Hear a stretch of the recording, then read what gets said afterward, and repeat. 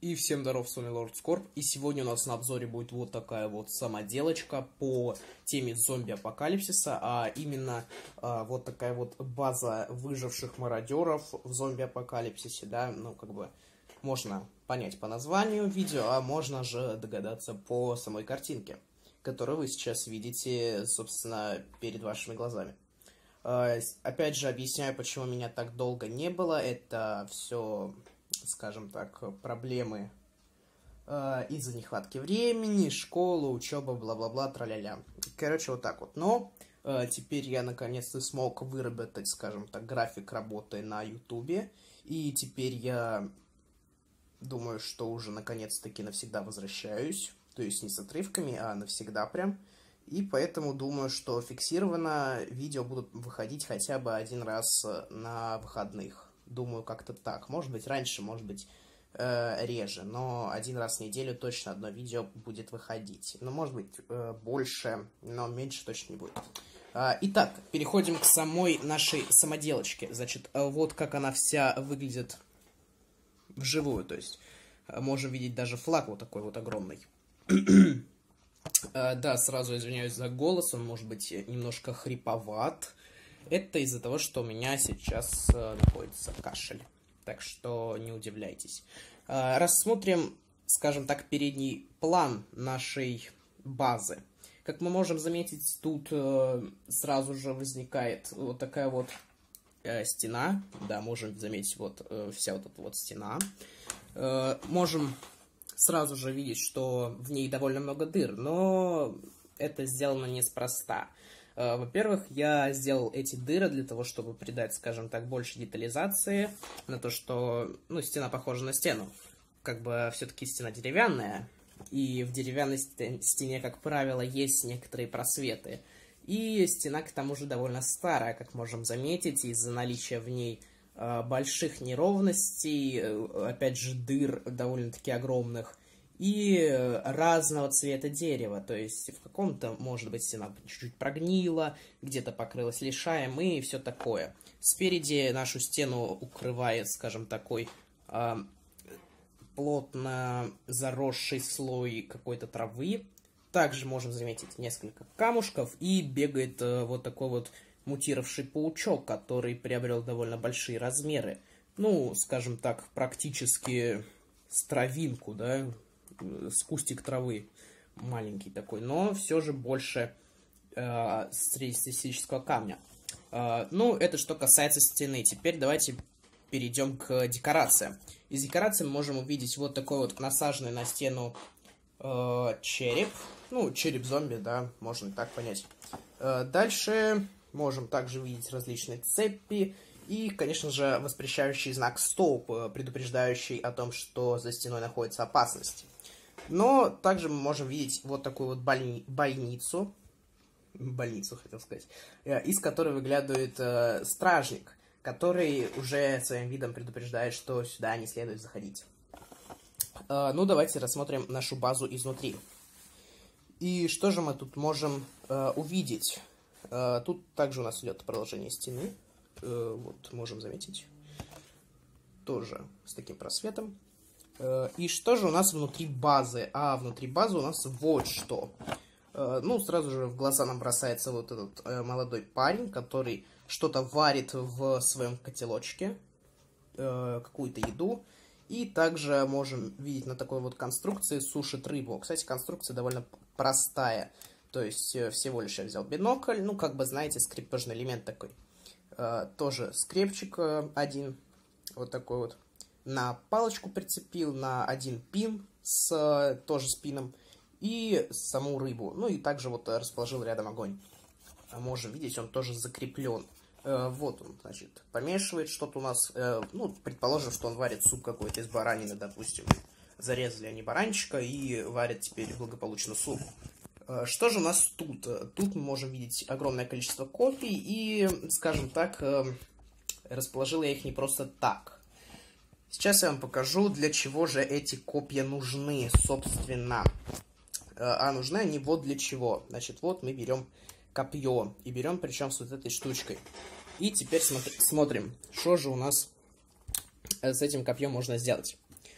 А, ну, я вам расположу так, чтобы вы лучше видели. Вот у нас есть вот такая вот дырочка. Мы в это копье в дырочку располагаем, и, скажем так, наша база приходит в некий, ну, такой боевой режим. То есть от э, набегов зомби уже защищенная. Сейчас мы его тоже расположим. Ну, вот как-то так можно все копья э, расположить, и база будет более укомплектована оружием. Также мы могли заметить вот такую вот необычную штуку. Это тоже некоторая такая ловушка боевая, э, двойное, скажем так, копье заграждения. То есть при возникновении опасности э, наш, допустим, вот этот герой может пойти потянуть за этот рычаг, и копье опустится. То есть из поднятого режима оно опустится в нижний. А, отлетела штучка. Сейчас поправим. Все будет хорошо. А, делаем, и вот так вот она заправляется в нижний режим. Ну, чуть-чуть поправим за вот этой штуки. И опять же натягиваем. И вот у нас а, штука в боевом режиме. То есть э, кто-то может пойти, ну, к примеру, если он бы был зомби, и наткнуться на эту штуку, и тем самым проткнуть себе кишки. Ну, тоже такая себе смерть, сами понимаете. Э, что ж, переходим дальше. Дальше идет уже другая сторона, чтобы посмотреть более детально, что тут происходит. А тут мы видим уже, скажем так, самого стражника. Вот это вот стражничка. Вот он, наш стражник. Он стоит у нас, охраняет стену с луком. И тоже управляет небольшой ловушкой, как можем заметить. Если мы стражника отодвинем, ну, к примеру, вот сюда, да, у нас тут есть вот такая вот штучка, рычажочек. Если мы его выкидываем, то у нас выстреливаются вот такие вот, э, скажем так, гарпуны, которые тоже могут проткнуть э, зомбаря. Ну и также вставляем. При необходимости убираем. Ну, точнее, складываем. Также мы можем видеть с внутренней стороны, что тут довольно много различных элементов. То есть и запасной колчан для стрел, и винтовка, и, скажем так, ящичек с инструментами. И даже можем заметить э, небольшой отсек для вил, чтобы убирать, к примеру, листья. Ну, не листья, конечно, а, к примеру, хворост, небольшой. Ну, не хворост, конечно же, а сено. Все-таки сено, сено. И можем заметить э, лесоруба. Ну, точнее, не лесоруба, а человека, который колет у нас дрова. Вот э, можем заметить сразу же несколько досочек. Э, значит, досочки наши, вот они лежат. И вот топориком он стоит на поверхности и рубит дрова. И, конечно же, складывает их. Э, вот сами палочки, да, и вот что ему еще осталось разрубить. То есть вот такие вот огромные бревна.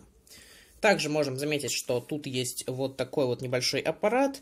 Это, ну, что-то типа колонки с подачей воды, то есть э, небольшой умывальничек такой, где можно помыть свои руки. Ну и, конечно же, давайте рассмотрим нашего дровосека.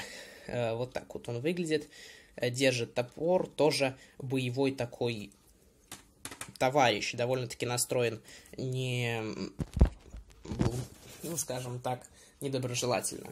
И давайте рассмотрим внутреннюю сторону нашей конструкции. Э, тут мы можем заметить небольшой садик, то есть небольшое ограждение, и растут э, цветочки. Ну, может быть, когда-то они росли и теперь вот продолжают расти. То есть можем видеть, что садик а, особо никому не нужен, тут как бы никто его не поливает, но что поделать.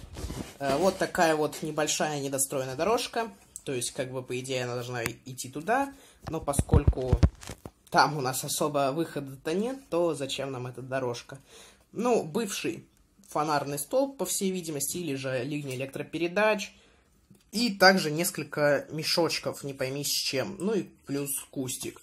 Во внутренней стороне у нас э, довольно все не так однозначно, потому что у нас тут э, на самом деле идет два этажа. Давайте рассмотрим первый. Э, в первом мы можем видеть, что это чисто этаж нежилой, чисто под житейские нужды. То есть у нас тут как хранилище идет. Можем сразу же лицезреть с вами, что внутри у нас есть вот такие вот мешочки. скорее всего, с какими-то вещами, может быть, там одежда, может быть, припасы, может быть, провизия, может быть, э, все что угодно. Э, бочки две с двух сторон, старый карабин висит на стене, э, еще бочки с каким-то маслом, и также можем заметить остатки мотоцикла, то есть разобранную его часть валяющаяся. И также можем видеть ящик с абсолютно различными инструментами. Э, такие как серп, гаечный ключ, дрель, э, смазка, ну, точнее, смазочный аппарат, э, молоток, циркулярная пила и многое-многое другое. Также здесь есть компактная станция, вот такая вот, радарная, да, ну, не радарная, конечно же, а радиостанция вот такая маленькая и телефонный аппарат. И также, если мы чуть-чуть вот сюда посмотрим, то там на стене висит карта, что тоже мож не может э, нас не радовать. Что-то она не хочет фокусироваться. Вот. Карту можем заметить. Ну и теперь давайте поднимемся на верхний этаж, жилой. Э, тут мы сразу же можем заметить двух э, разговаривающих между собой бандита, ну, мародеров точнее, да, Э, вот так вот они выглядят. Один пьет, э, скорее всего, воду, ну, может быть, чай или еще что-то. Ну, а также мы можем видеть наличие здесь кровати, также вот небольшой стойки для книжек, ну, точнее, полочки, да. А, вот такого вот фонаря, который как бы и освещает весь верхний этаж. Ну и также окошечко которая ведет наружу, которая, кстати, открыта. И, кстати, крышу я сделал за счет вот таких вот элементов. На них все накрепил, и получилась вот такая вот крыша. Э, ну, вот такой вот получился обзор. Жесть.